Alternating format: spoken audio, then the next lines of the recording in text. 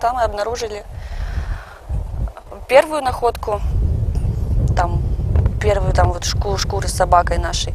Потом пошли дальше уже тут возвращаться домой и посмотрели здесь, а, где вот мы стоим с правой стороны, тоже очень много Находкой Наталья называет свою собаку Клёпу. Животное 6 лет прожило семьей Ермаковых. С месяц назад домашняя любимица убежала гулять. Больше питомца никто не видел. Только через месяц семейная пара случайно нашла свою собаку, задушенной и среди других мертвых животных. Туши нескольких четвероногих были разложены на собачьих шкурах. Девушка до сих пор не может рассказывать эту историю без слез. Страшно было, конечно, увидеть еще и в придачу столько животных. Оказалось, в последнее время в поселке Угловом домашние собаки пропадали буквально у каждого встречного. Не только у меня. Получается, собака гуляла вместе с этим, с- ну, еще с соседом. Сучка, ну, загуляла. И все, и вдвоем пропали сразу. Потом нашли вон там.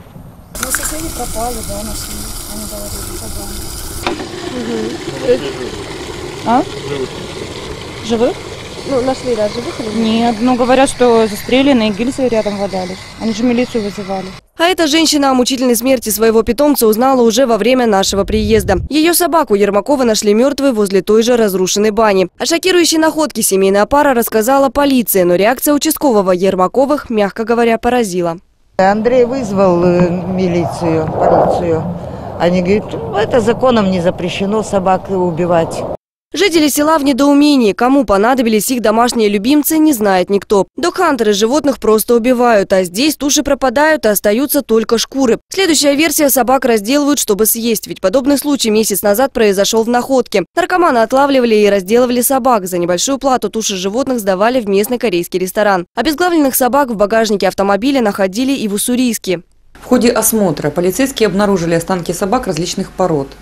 В настоящее время сотрудниками полиции проводит комплекс оперативно-розыскных мероприятий, направленных на установление лиц, причастных к происшествию.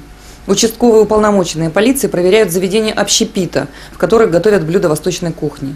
Если в угловом корейская диаспора, для которой могли наладить производство, местные жители не знают. Зато понимают одно – на улице Сахалинской иногда играют дети. И если подобное зрелище шокировало взрослых людей, то ребенку увиденное может нанести серьезную психологическую травму. Особенно если среди трупов он узнает своего любимца. Развалины на месте бани стоят уже более 10 лет, а вот сама улица Сахалинская еще несколько лет назад была достаточно оживленной, но два года назад здесь снесли дома, и сейчас вместо них остались одни обломки. Люди отсюда потихоньку уезжают в новые дома, а вот в старой бане и во враге становится все больше постояльцев. К слову, вместе с мертвыми собаками можно разглядеть и останки коз. Инна Щедрова, Александр Бартовщук. Новости на восьмом.